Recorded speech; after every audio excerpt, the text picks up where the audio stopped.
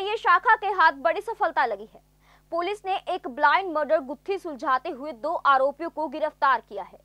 यहाँ हम आपको बता दें कि महेंद्र सिंह निवासी लाडवा जिला कुरुक्षेत्र ने एक ट्रक चालक के खिलाफ थाना सदर करनाल में शिकायत दी थी कि वह अपने साथियों के साथ अपने कैंटर में लाडवा से करनाल की ओर जा रहा था।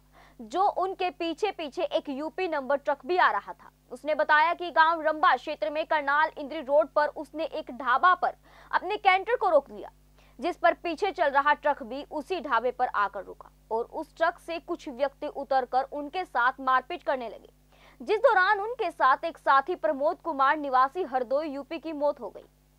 थाना सदर पुलिस द्वारा उसकी शिकायत पर मामला दर्ज किया गया।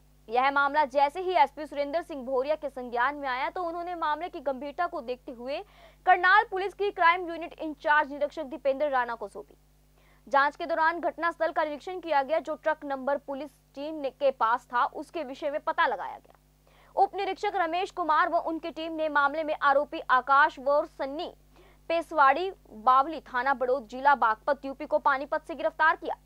पुलिस ने आरोपियों को अदालत के सामने पेश करके रिमांड हासिल लिया गया और अदालत के आदेश पर उन्हें जिला जेल करनाल भेज दिया गया। अननोन मर्डर था जो। ये तेरह नवंबर की घटना है। महेंद्र सिंह नाम का एक व्यक्ति अपना ट्रक लेकर झज्जर के लिए निकला था। साथ में तीन लेबर वाले व्यक्ति भी थे उसके साथ में।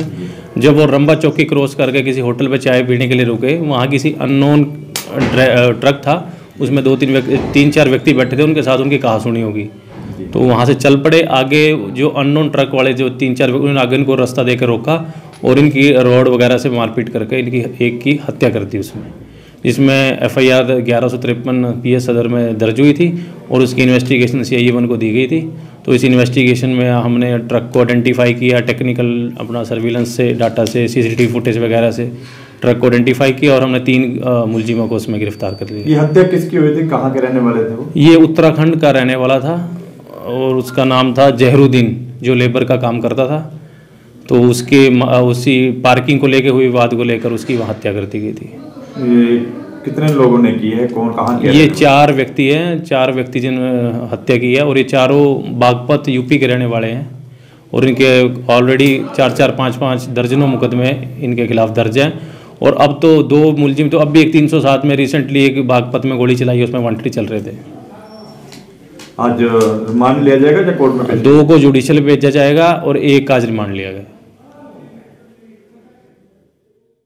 JBD Banquets लाए हैं incredible marriage palace Rajgharana and the finest banquet hall Jyoti Garden.